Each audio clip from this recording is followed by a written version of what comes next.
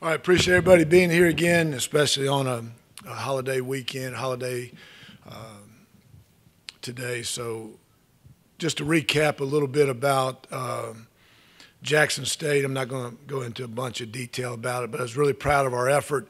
Thought we played a clean and smart, disciplined game. So, thought from a first game standpoint, I thought it was really nice, uh, a nice job by our players and, and coaches. Uh, Alabama this week um, is a great challenge for us. It's a great opportunity to play against one of the storied programs in the history of college football. Uh, everybody knows their, their past history and everything they've done. Um, what I found was pretty um, incredible. The last seven years, at one point in the season, they've been ranked number one, the number one team in the country uh, the last seven years at one point in the season. So that just shows you the consistency and the dominance that they've had over the last you know decade. Really, um, they're a very well coached team. Uh, Coach Saban does a great job. Their assistant coaches do a phenomenal job as well. They've got great players. Uh, you know, so it's a great opportunity and a great challenge for us. So it's one we're looking forward to. Uh, again, we don't practice today. Uh, we cleaned up Jackson State yesterday and started a little bit of on, on Alabama, but we'll start full focus with our players uh, tomorrow with Alabama when they come into practice. But uh, really, really excited about this opportunity as a coach, and, uh, and I know our players are, are looking forward to it as well. So, with that, I'll open it up to your questions. Coach, uh, what are you telling your offensive line? I know there's a lot of shifting going on you have Chandler Brewer at left tackle. What are you telling them ahead of this week uh, and preparing them for Alabama's defensive line? Well, Chandler's been there really since uh, probably the third or fourth practice uh, since DJ and Carlos have been out. So this he's been getting coached uh, a bunch uh, here this the first four weeks of the season. But uh, Alabama's front, their front seven is is rated the, the number one front seven in the country. Uh, they've got really good players. They're big guys that can run. We've just got to do a great job from an offensive line standpoint. We've got to do a great job fundamentally. We've got to play lower uh, than what we did yesterday or Saturday. We've got to be great fundamentally, and we've got to stay on blocks. Um, you've got to strain. You've got to finish every play. Uh, and it's especially a team like this is as big and fast as they are. We've got to just do a great job fundamentally and and um, play with tenacious, just a tenacious, tenacious attitude, great effort, and uh, finish every play. Uh, your defensive line uh, bottled up the running backs of Jackson State. You know, held Jackson State to just under two yards per carry. Uh, going up against Alabama this this week. Uh, you know, they have a stable of running backs just like MTSU. Uh, on the other side of the line, what are you telling your defensive line and linebackers as they prepare to face these stable of running backs? Well, they, have got a great running back. They again, they've you know, I've known about him since he's probably in the fifth or sixth grade. He's from Yulee, Florida, right outside of Fernandina, where I'm from, and everybody's been calling me and telling me about this kid since he was in elementary school. So uh, I've known him for a, known about him for a long time. He's a really good player. He runs hard. He's big. He's he fa- he's fast. He runs behind his pads. Their offensive line again is well coached. They do a great job. And our defensive line, our, our linebackers, you know, we've again it, it you got to be fundamentally sound. You got to do what you're coached to do. Uh, you've got to conversely, we got to get off blocks. We got to strain. We got to get off blocks. We got to tackle well. We've got to gang tackle. We got to get everybody. We got to get 11 hats to the ball uh, and play a physical uh, game defensively like we did last week. Coach, I asked you after Jackson State if you had watched any film on Alabama. You said you hadn't watched a single snap. Has that changed from Saturday to Monday? Yeah, a little bit, yeah.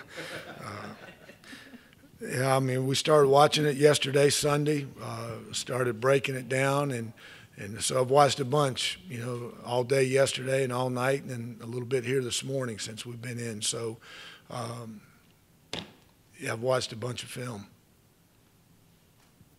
Coach, uh, the media is not really giving you uh, much of a chance on, on, on this one. Uh, how do you keep that out of the players' head and keep them focused? Ignore the noise. I don't listen to any. I don't.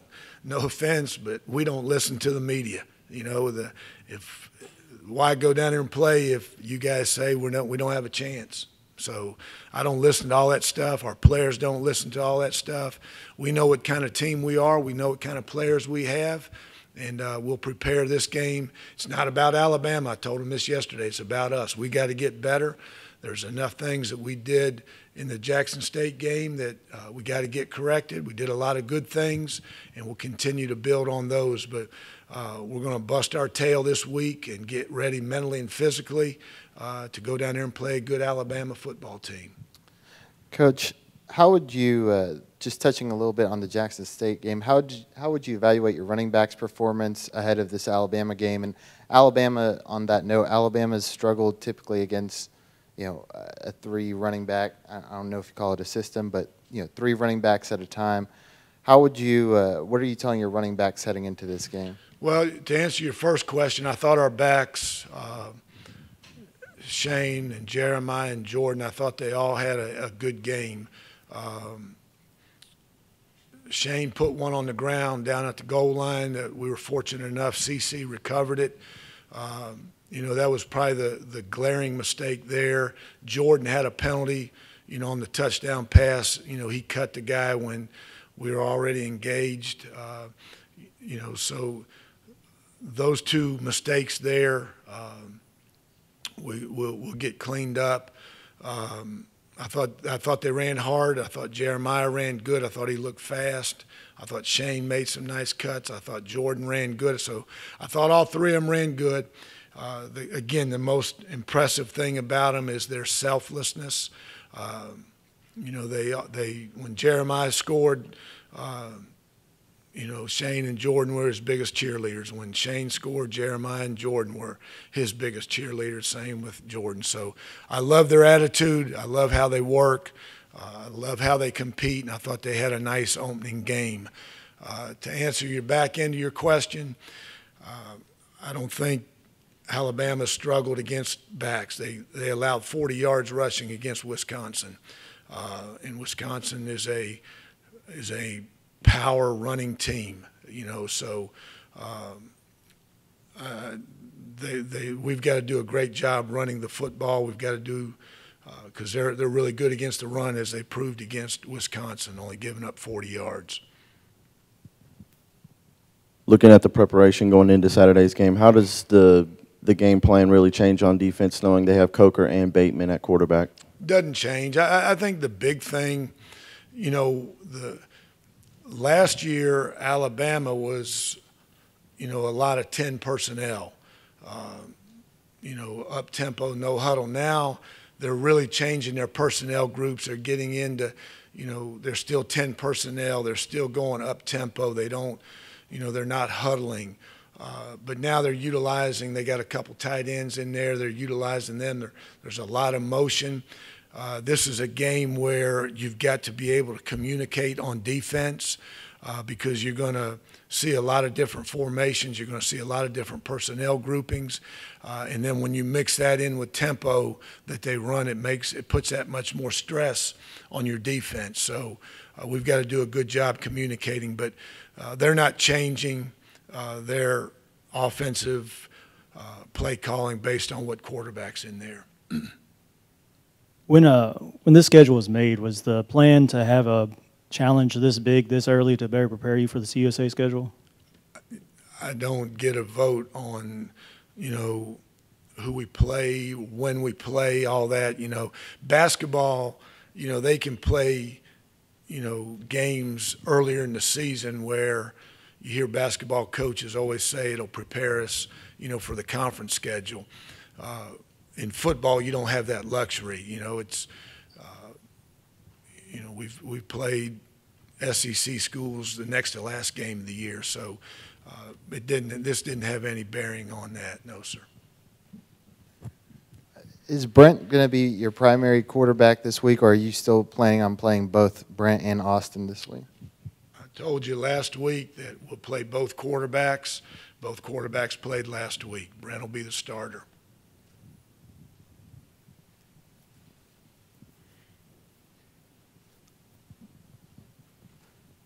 Talking about Brent specifically starting, only his second start, he has to go to Alabama. What are the talks that you've had with him? He's ready. I mean, that, he's no different than anybody else. He'll be, he'll be, he'll prepare himself mentally. I haven't told him anything. It's, I'm not going to tell, hey, you're going to Alabama. You got to do this. Hey, Jeremiah. Hey, KB. We're going to Alabama.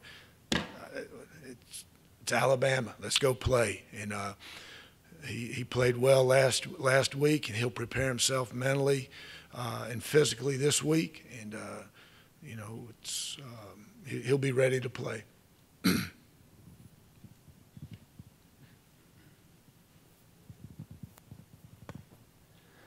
Coach, um, given Alabama's success and Nick Saban specifically, his success over the years, uh, almost wherever he's been, are there anything? Is there anything about him, things he does that you try to emulate or have tried to emulate over the years to implement into your program because you knew it or you saw that it worked for him? I try to study all as many coaches as I can. I try to read about as much as I can basketball coaches, baseball, football coaches. I talk to our team a lot about, you know, Pop out there at San Antonio, with the Spurs, and some things that they do. Yes, I, I try to, I try to listen and read and study successful people. You know, primarily coaches, but anybody in a leadership role, I try to study, excuse me, and learn from them. And, um, you know, I think he's done a great job of staying in the moment, telling, you know, it's not looking ahead, you know, it's about you. You hear him talk about the process all the time.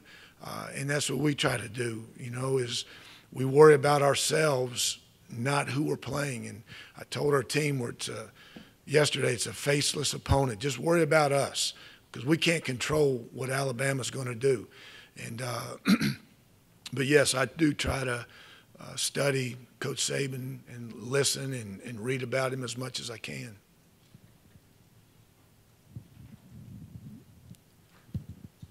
What have you uh, heard from your mentor, Bobby Bowden, about the SEC and Alabama? Well, you know, Coach Bowden, when I was playing for him, he loved Bear Bryant. He lo- he's from Alabama, and he used to talk about them to us all the time. So, but I haven't talked to him.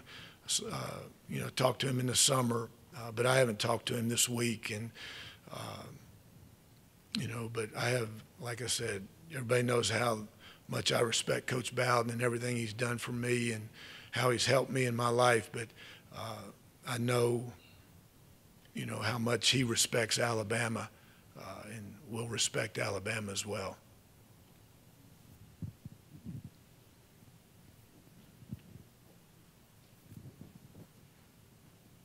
Talking with the players, I talked to Ed after Jackson State. He said Alabama ties their shoes up the same way that, that MTSU does. Talking with TT first press conference, he said they put on the pads the same way we do. Is that just the mindset throughout the entire team going into Alabama this Saturday?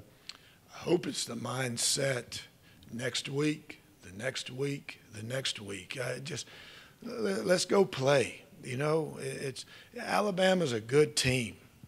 Everybody knows that. They won a bunch of national championships. I already told you they've been ranked number one, you know, for seven straight years at some point in the season. They're a good team. You know, uh, we're a good team. We got good players, and uh, yeah, you're going to go down there and you're going to play in front of over 100,000 people against a great team, uh, a well-coached team, and uh, you know we'll, we'll be ready to play. I promise you that. Our guys, we're not going back down, you know, from anybody. We're going to get ready to play and and uh, prepare this week to play better than we did last week, and and. Uh,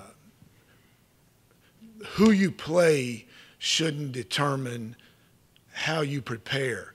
Who you play shouldn't determine uh, how hard you play. You know, and that's what I say all the time that it's it's not who you play, it's about us. And if you get up for this game, but you're not going to get up for that game, then you're not going to play consistent football.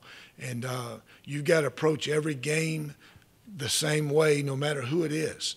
And uh, so that, that- that's what we do. And that's, uh, you know, we're not going to prepare any different next week playing Charlotte than we are this week playing Alabama. We're not we're not preparing any differently this week for Alabama than we did last week for Jackson State. You know, it's uh, you got to get ready to play every game week in and week out because uh, in college football today, uh, you know, there, there's not a whole lot of separation between teams.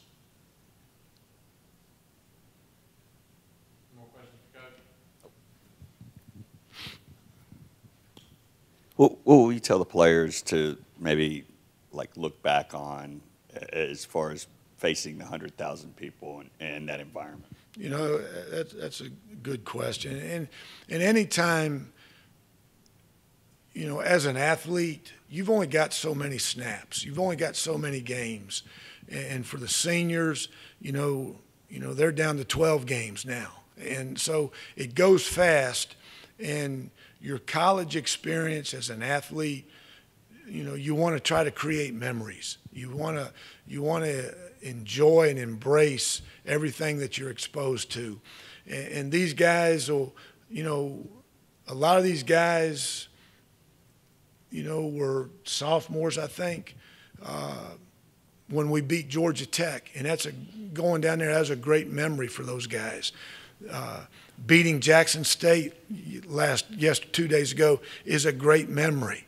You know, going to Alabama and playing like I said, a tradition, the history and tradition of that program in front of 100,000 people is a great memory. If they're fortunate enough to go to the NFL, they're not going to play in front of 100,000 people. You know, I don't think. I don't think there's 100,000 seat stadiums in the NFL. So this is a great memory, a great opportunity, you know, for us to go down and play one of the great programs of all time in college football. Coach, complete this sentence. We will be in this game with Alabama if we do what? If we don't turn the ball over and we tackle well on defense and we don't give up any big plays in the kicking game. It can't just it's not just going to be one thing.